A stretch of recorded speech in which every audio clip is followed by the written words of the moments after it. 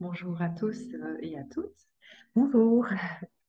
Voilà, donc euh, je me présente Nathalie Zamateo et Marie Botman. Euh, nous allons aborder lors du congrès l'impact des traumatismes sur l'ADN et la dynamique épigénétique.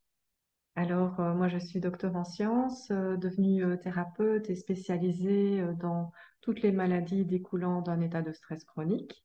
je suis également formée à l'hypnose.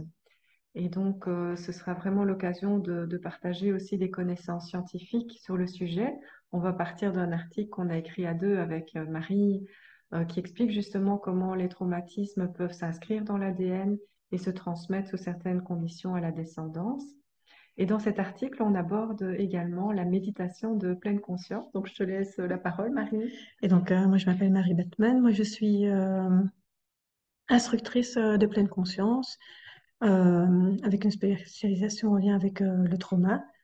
Euh, donc, en plus de toute la dynamique épigénétique en lien avec le trauma, on abordera aussi l'impact de la pleine conscience, de la méditation et du programme MBSR sur, en lien avec le trauma.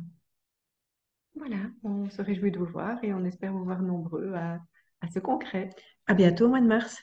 À bientôt, le 10 mars. Au revoir. Au revoir.